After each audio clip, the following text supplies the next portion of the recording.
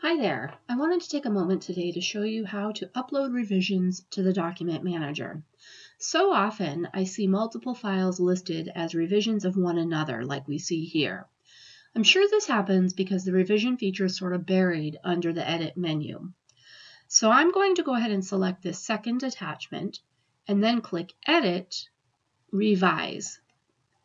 And here is where I can click this little cog next to my current file to browse for the new file for whatever I want to revise it to.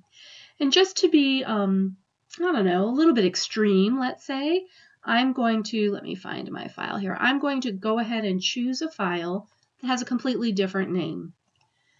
I'm also going to check off the boxes under Advanced Options. I'll include reference files and I'll revise automatically if a file with the same name exists.